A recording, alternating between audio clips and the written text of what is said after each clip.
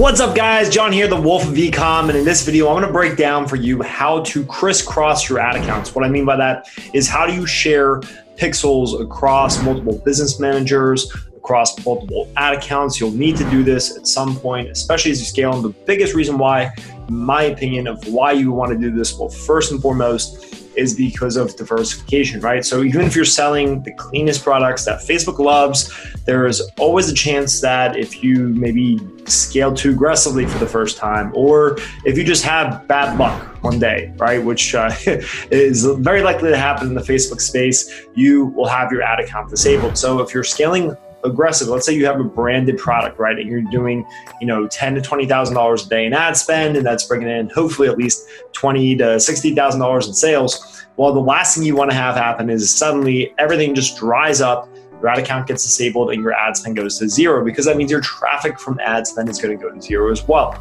So, what I want to show you is how to diversify with multiple ad accounts. This is really good if you're running drop shipping products too, because if you're anything like me, you run one pixel on the whole store. That's a myth, in my opinion, that you need a new pixel for every product or anything like that. The pixel just transfers data. That's for a whole other video.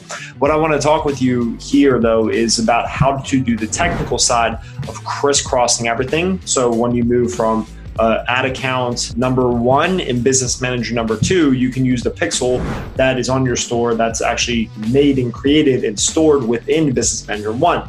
This will make more sense as you actually set it up. But the, just think of this as we want to crisscross all of our ad accounts, all of uh, the access that everyone has to it, and all of the business managers and all of its assets, right? So that's mainly your pixels and your ad accounts, and then also who can use those pixels and ad accounts, okay?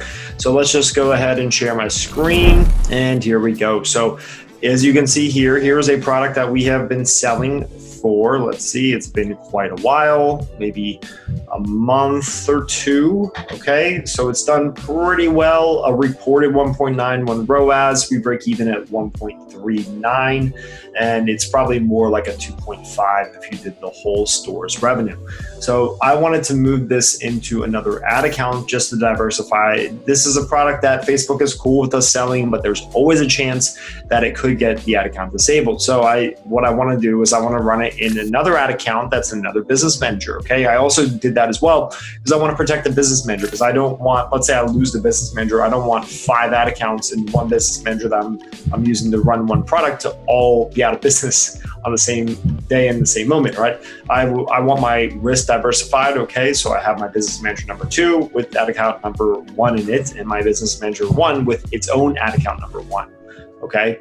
So what I did is very simple. Okay. So the first thing we're going to want to do is we have our second ad account here, right? So I actually just moved this. So we need to get our business managers here. I'm going to open this up in a new tab. You can't see the campaign names or maybe that account names, but just uh, follow along. You'll see exactly what it is that we're doing. Okay. So now when I have the business manager open that I want to share access across from, all right, what I'm going to do is very simple. I'm going to double check which one it is because sometimes it changes business managers on you.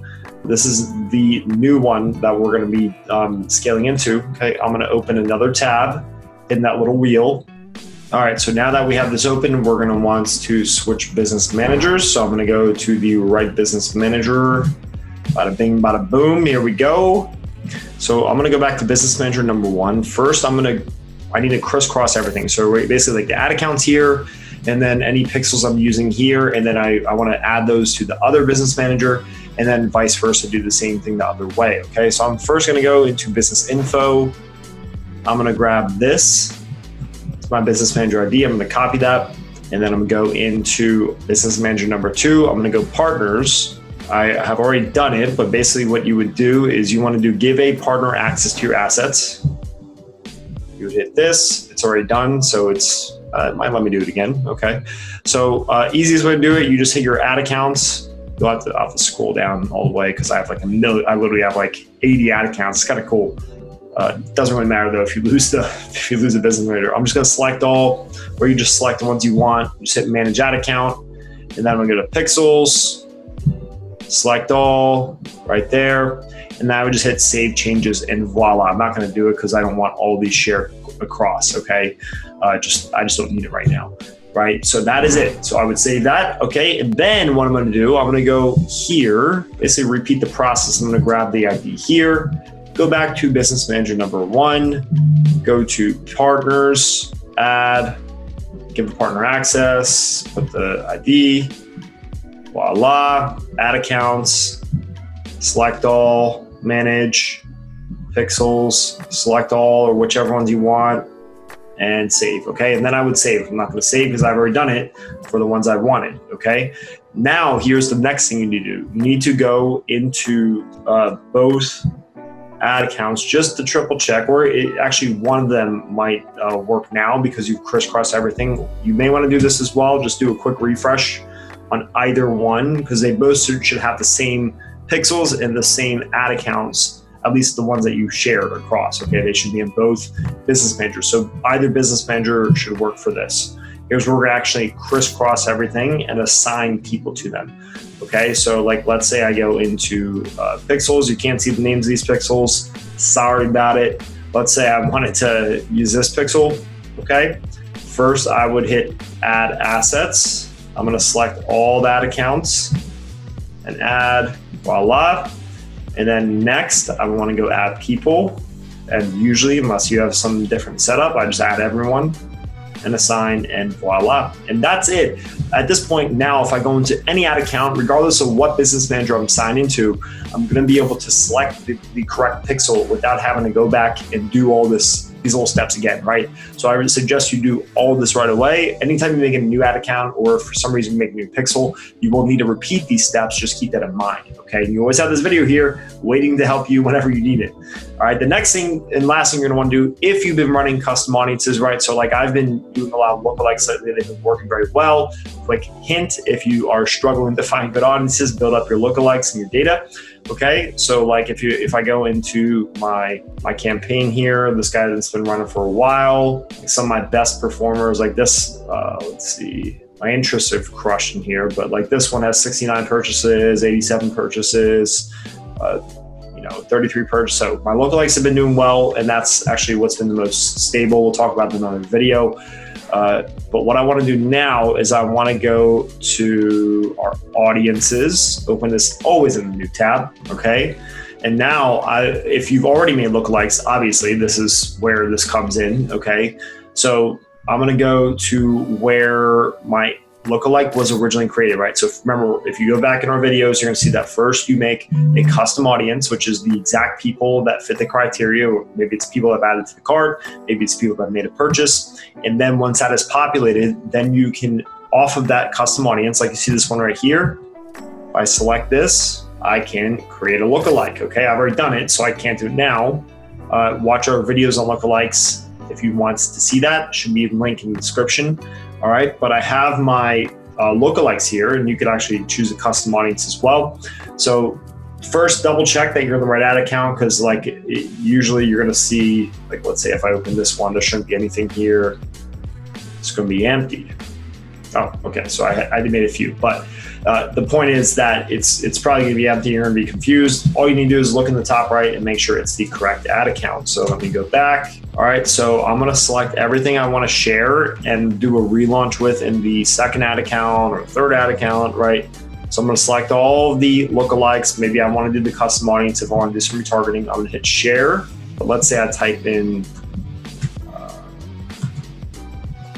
Yeah. So if I've already, if it's within the same business manager natively, right? So like, let's say I've made a bunch of ad accounts to this one business manager, it should let me just uh, add to the to the new ad account right away.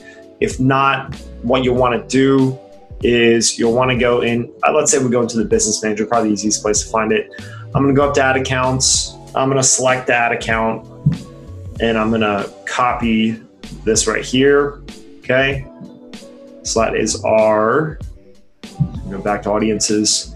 All right, so all I would do is I would type it. So I've already done it, obviously, and that's why the name shows here. So usually after you share it once, like across ad accounts, it'll be super easy to find. Again, you could just type the ad account name in. If not, put in the ID, okay? And then I would hit share. And it's already shared, so it may not, okay, let me do it.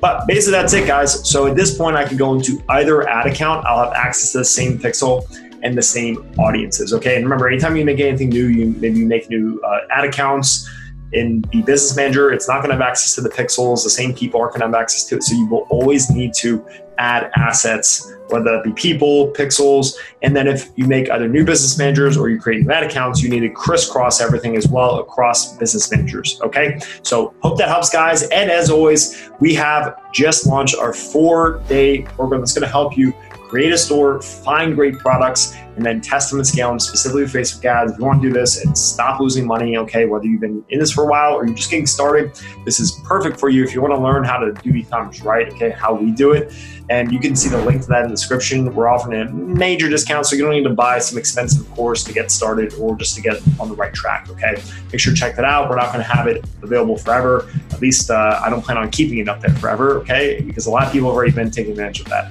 All right, looking forward to seeing you in the next video. And as always, drop a comments you have below if you have any questions about how to do this crisscross strategy for your scaling. Okay.